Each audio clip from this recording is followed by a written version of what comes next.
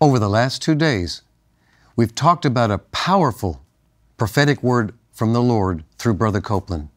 Today, I want to share with you a word from the Lord that He gave to me to give to you. Ooh, I'm excited.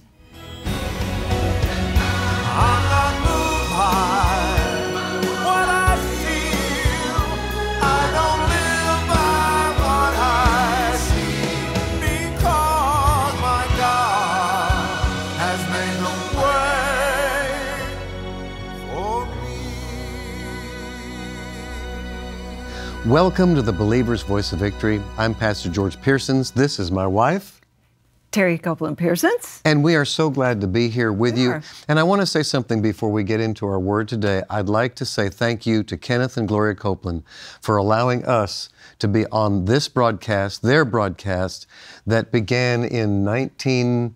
The daily broadcast began in 1989. Okay. Weekly 1979. 1979. And there. you were there. I was there. you were there. I was there, but on the other side of the camera, but I was there. In fact, when we started, it was in this very spot right here in this this very studio. And so we know how precious this program. Yes. Uh, but even more so, how precious the partners and the viewers are right. to Brother and Sister Copeland and to all of us here at KCM. So it's a great privilege, it's an honor, and a huge responsibility to be in front of this camera to bring the Word of God to you. And most of all, we are, we are accountable to the Lord to see to it that what we say to you is in line with the mission that we have been assigned here right. at Kenneth Copeland right. Ministries to teach people who they are in Christ Jesus and their biblical rights and privileges that belong to them. And so I hope that we have accomplished that in these last two weeks. And of course, we'd love to hear from you since we're not on all the time. It'd be great for you to email us there at, and give us some feedback and response. We would appreciate it. And you know, I don't know, drop my dad a line and tell him the kid done good. and they can also watch us since we're senior pastors of That's Eagle right. Mountain Eagle International Mountain. Church. EMIC. You can watch us uh, on Sundays. Sunday mornings. Uh, 10 o'clock Central Time. Mm-hmm. Uh, Wednesday nights, 7 Central Time. And then EMIC.org, Roku. We're so grateful to be able to be, be doing this. And I just wanted to let you know that we've been talking about these last two weeks what to do in troubled economic times that we we don't have to be subject to the times. If we line up with God's word and if we do what he tells us to do, then he will guide us through it and we will end up thriving and not just surviving, not just getting by. And we began 2 weeks ago with this statement and this is from the news, the supply chain bottlenecks around the world have caused record shortages of many products that American consumers are used to having readily available. That includes food, household goods, electronics, automobiles, supplies of every kind, including baby formula. Prices are also increasing on goods and services, including gas at the pump. Experts have warned that problems will likely, likely get worse before they get better. But we have been taught and trained how to take our authority over our own household and live our lives prosperously, not lacking in any area at all, but knowing that our God is our source and He will supply every need that we have according to His riches and glory by Christ Jesus. That's the important part to remember. Yep. It's by Christ Jesus. That's why being a believer in Jesus, confessing Him as Lord, going to the Word, that's where that's where the connection is. That's the plug in. When we're plugged into Him, then His supply flows through it. So, as we mentioned at the top of the program today, which, by the way, all of these outlines are available for the last two weeks, you can go to kcm.org, click onto the picture of Pastor Terri and myself, and it will take you to these outlines and so many other outlines as well, so that you can build your library. Pastors and ministers, you can teach from this and, and add to your to these notes the revelation that God gives you about these particular topics. I, I want to say something to pastors. Mm-hmm. You know, too many times we hear people that have maybe heard Pastor George uh, speak on something along these lines and say, "Man, my pastor's not addressing this at all." Pastors, come on, you you hold the answer, you hold the key. And if you don't know where to go or you're afraid, then I encourage you to get these outlines or, or something because victory is this is the victory that overcomes the world, even right. our faith.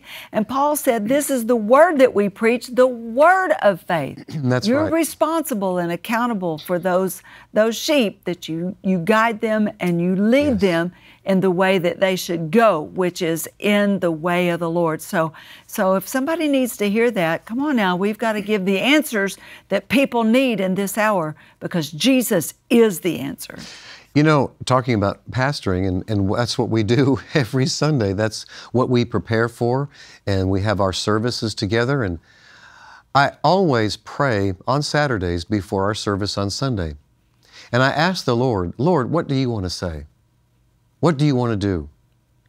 What do you want to say to these precious people that you've given to us to pastor and to minister to? Not just the people that are there in the building, but those that are watching. We have we probably have e-members that are watching us right now on this broadcast. But that is a practice that I've had for years and years that I asked the Lord, what do you want to do? What do you want to say? And I was praying over the current economic situation. On a Saturday, and the Lord spoke a very distinct and clear word to me. And He said this I'd take care of my own. I'd take care of my own. And I said, Lord, is that what you want me to talk about tomorrow? He said, Yes. I want you to tell the congregation that. So I want to give you the scriptures that the Lord gave to me and the thoughts that He put down in my heart about the fact that He takes care of us. He is a good, loving Father who takes care of His children. Psalm 37, verses 18 and 19. This is the New Living Translation. Day by day, the Lord takes care of the innocent. In the, New King, in the King James Version, it says the righteous. And they will receive an inheritance that lasts forever. They will not be disgraced in hard times. Even in famine, they will have more than enough. Terri, we experienced that here at Kenneth Copeland Ministries. We have. Over the last two years? Miraculous. Oh my goodness.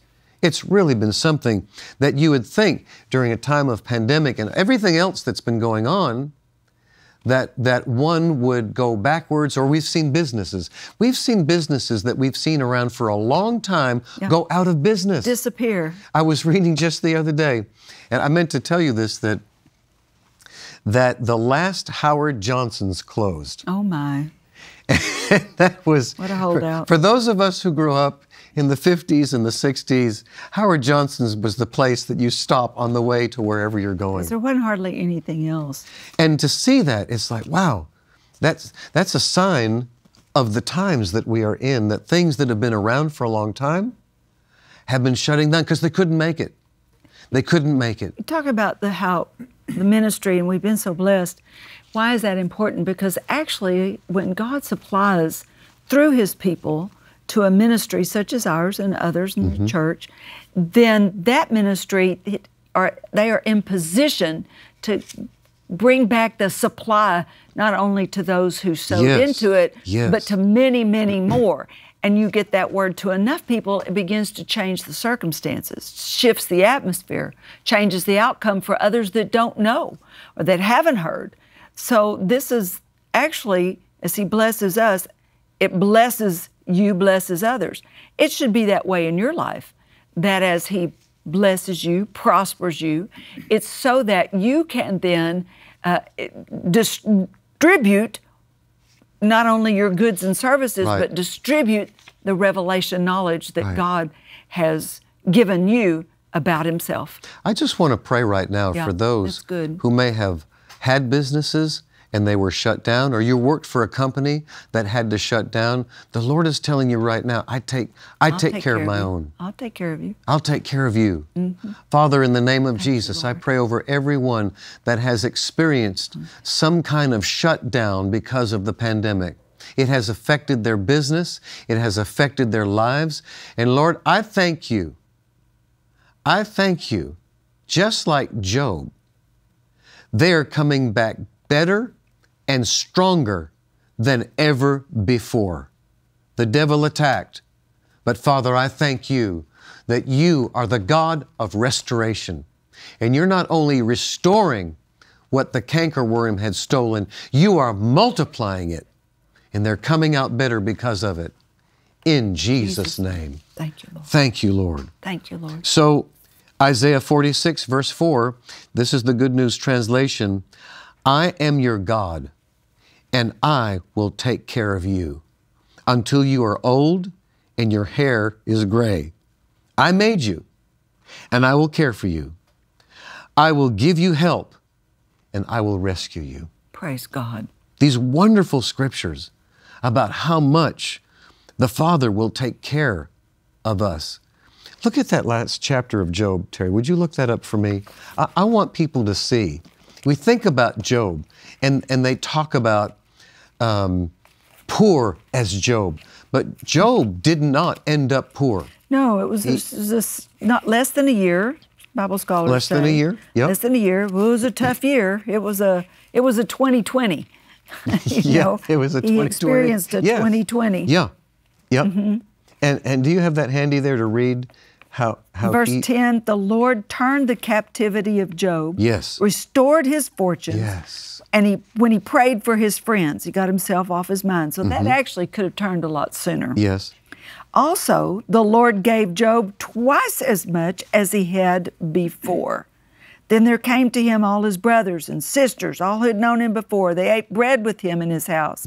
Praise the Lord. And it goes on to tell other thing. Uh, the Lord blessed the latter days of Job more than his beginning. Yes. He had 14,000 sheep, 6,000 camels, a Oh, thousand man. yoke of oxen, a thousand female donkeys, seven sons, three daughters, uh, and it says, In all the land there was no women so fair as the daughters of Jo- Job, and their father gave them inheritance among their brothers. He had to have so much that he not only prospered That's his right. sons, but it Yes. prospered his daughters, Yes. which kind of went across the culture of that day. So, wow. Yeah. It- what, So- you know, in all of that he went through, that tells me, George, it changed him. Yes, it did. When he prayed for his Yes, it friends, did. Mm-hmm. it, didn't just change his circumstances. He prayed for his friends. He got himself off of his mind. Right. He got out of fear Right. over his family. And through that, he became so generous. Mm-hmm. He just wanted to give and give and keep giving. And look what it did for him. Yeah. And he ministered to all those around him. Changed the whole, changed the complexion of the whole countryside.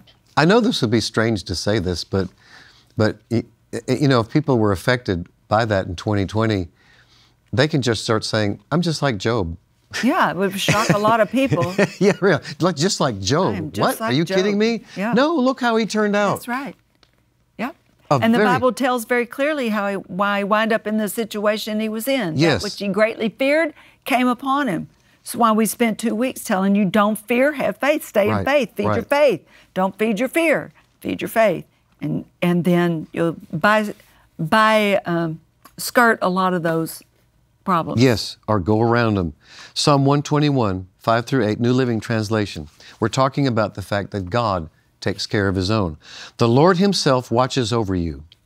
The Lord stands beside you as your protective shade.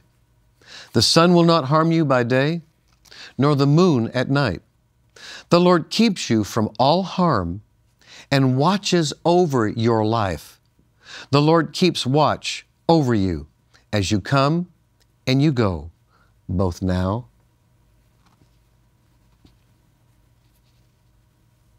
I know what you're doing. You're thinking of that song, The Goodness of God. Yeah, All my life, yeah, you have been faithful. yeah. All my life, you've been so, so good to me.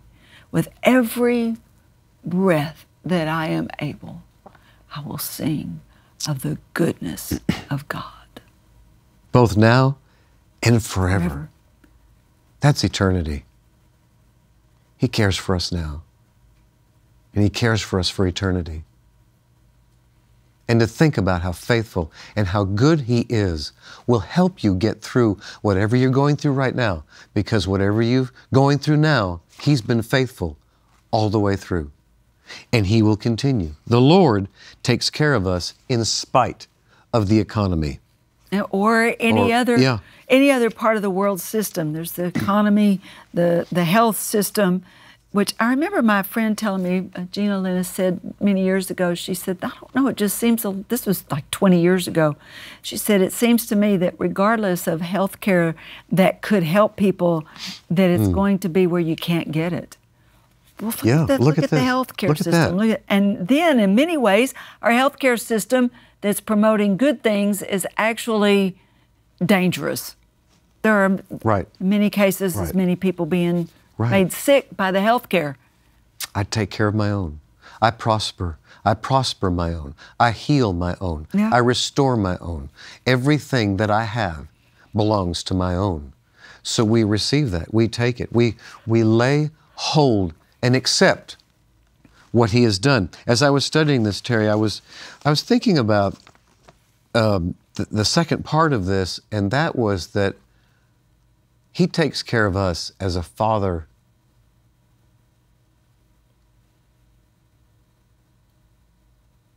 takes care of and watches over children. A good father. We belong to Him. We are His. And just like Jeremy and Aubrey, they belong to us. We raised them. You birthed them. I stood there. yes, you did. And and we cared for them all the way through to the place to where now they're grown. And we still care for and them. And we still care for them. And their children. And their and their children. Psalm 103. Acknowledge that the Lord is God. He made us, we belong to him. We are his people, we are his flock. Psalm 73 23. Yet I still belong to you. You hold my right hand. You guide me with your counsel, leading me to a glorious destiny. That was David speaking. Isaiah 43 1 through 3. Do not be afraid, for I've ransomed you. I've called you by name. You are mine. When you go through the deep waters, I will be with you. When you go through the rivers of difficulty, you will not drown. When you walk through the fire of oppression, you will not be burned up. The flames will not consume you. For I am the Lord, your God, the Holy One of Israel, your Savior. Maybe you should read the next one. the message translation Don't be afraid, I've redeemed you.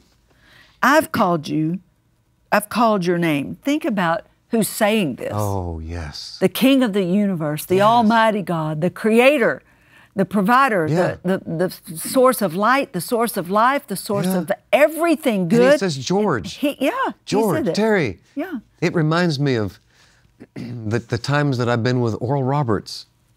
And Terri, you know that I used to go up there with Brother Copeland for the board meetings that they had. And you know, Oral Roberts, what a personality. What a huge personality. and there were a couple of times that I was up there for the board meetings, and I wondered to my, they said, Oral Roberts is coming to the board meeting. This is after he'd retired. He's coming to the board meeting. Everybody was so excited.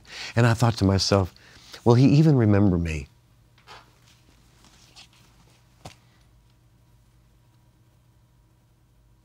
And I remember him in the boardroom, walking through the door coming down the steps, opened his arms to me. Mm-hmm. He said, George. Now, that was Oral Roberts. Think about God.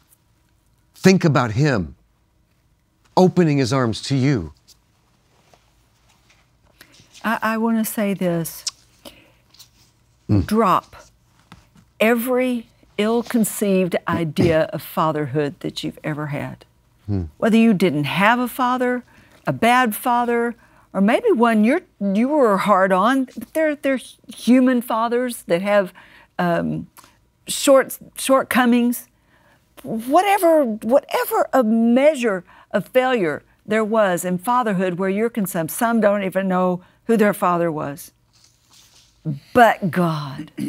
not only is He your Father, He's not a deadbeat Father, and it's His desire Yeah. to reveal Himself to you as your Father. That's what Jesus is all about. Yeah. He said, I came to reveal the Father, not God, that comes too, but I came to reveal the Father. And the Holy Spirit is sent to reveal Jesus, revealing the Father. Drop everything Yeah. from this point forward that in any way is a shortfall of fatherhood. Don't be afraid. I've redeemed you. I've called your name. You're mine. When you're in over your head, I'll be there with you. When you're in rough waters, you will not go down. When you're being between a rock and a hard place, it won't be a dead end because I am God, your personal God, the Holy of Israel, your Savior. I paid a huge price for you. In Psalm 94 14, the Lord will not abandon his people, he will not desert those who belong to him. And then I did this in church. And this is kind of a, this is a word from the Lord, but it's a letter, Are you going to make it through this? I think. My dear sons and daughters.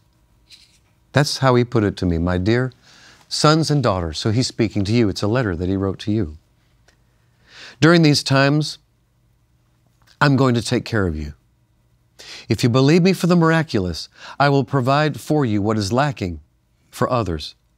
I will fill your home, your business, your ministry, your wallet, your purse, your bank account, your car, and everything else that needs to be filled. I am the filler.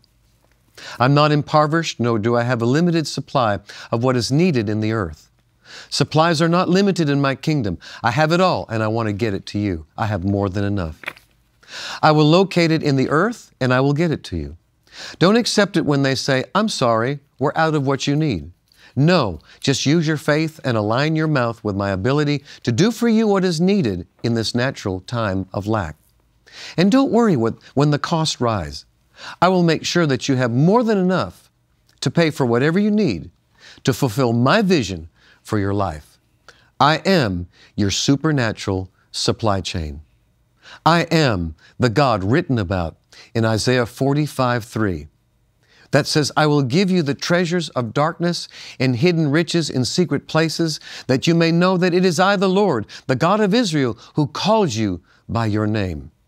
I will give you concealed treasures. I will reveal to you my hidden stockpiles. I will take care of anyone and everyone who calls upon my name and exercises their faith for the impossible. My people do not lack in times of lack. Just look at Isaac.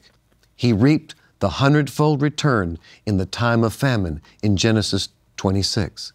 Yes, I will supply your every need, but you know me. I'll give you more than what you need. I'll give you so much that you'll have plenty left over to help others. I take care of my own. You are mine, and I am yours. And it's signed.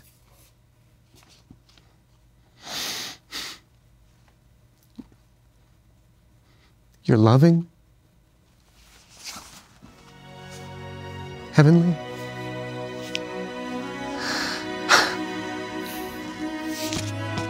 Father, thank you, Jesus.